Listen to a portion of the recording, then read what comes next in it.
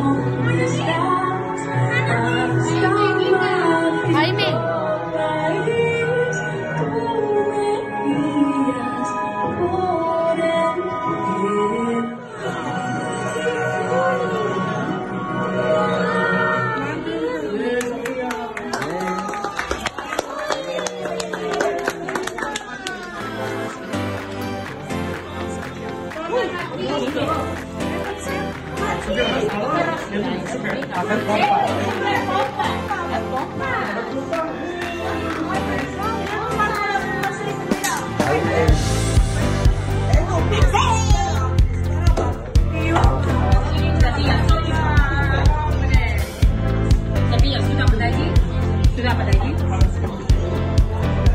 Nah, ini bukan